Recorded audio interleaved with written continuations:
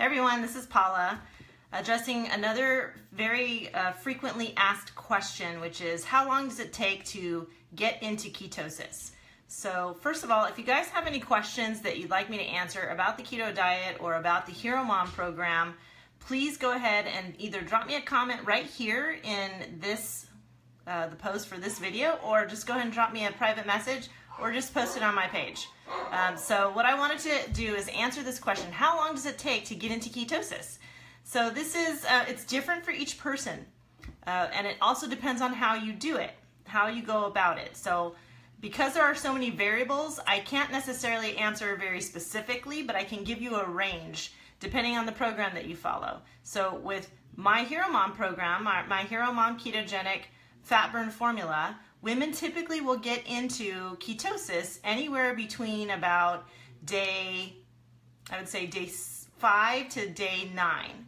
So I have a period of time that they go through, which we call a detox, and that allows them to switch over from being carb burning for energy to fat burning for energy. And once you're into fat burning for energy, that's when you're in ketosis. And it takes a period of time for your body to be conditioned over into that that way of eating or into that way of your body processing uh, your energy source. And now, what does it mean when you're in ketosis? How do you know you're in ketosis? Because you're creating ketones. And how you know you're creating ketones, it, one way to find out is um, if you guys saw my video on the ketone sticks, it comes in a little bottle about this big that you can get from your local pharmacy.